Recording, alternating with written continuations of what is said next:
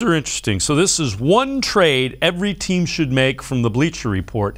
Uh, Browns are involved in three of these. So they say the Browns should trade D'Ernest Johnson to the Falcons. Um, they say the Chargers should trade Jerry Tillery to the Browns, defensive lineman. And they say the Browns should acquire Tyler Johnson from the Buccaneers. Um, Casey, when I when I look at that, I, I am not a fan of trading D'Ernest Johnson. Um, I, I, you'd have to give me probably a third or fourth round pick um, to make that work, and, and, we'll talk about the other two in a minute. What are you th- your thoughts about Johnson?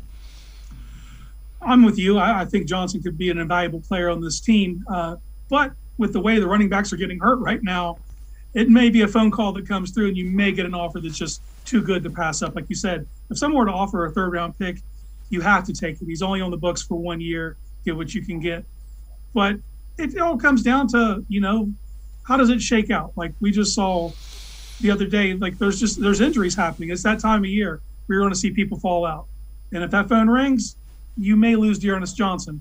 But if not, I, especially if they're going to utilize two backs and formations, D'Ernest Johnson could be a problem against other teams.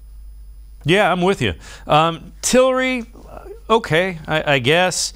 Um, Tyler Johnson, maybe. I, neither of those really excite me. I, I, don't dislike either of them, but I, am not jumping up and down for either of them either. Yeah, they're definitely not needle movers. You know, like no one's gonna be like, oh, Tyler Johnson. You know, like that's it. You know, it's here. Here we come, Lombardi Trophy. But there's going to be small moves like that that happen later, and not like people want the stuff to happen now. The Browns are going to go into camp with who they have. They're going to let things play out.